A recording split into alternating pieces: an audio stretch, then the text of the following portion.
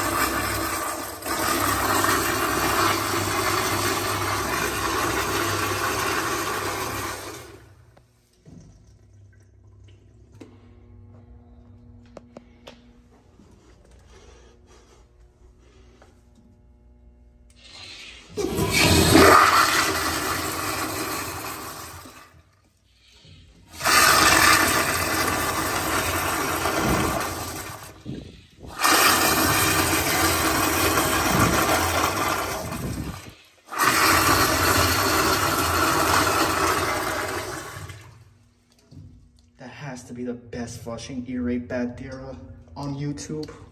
Wow, that's actually really good.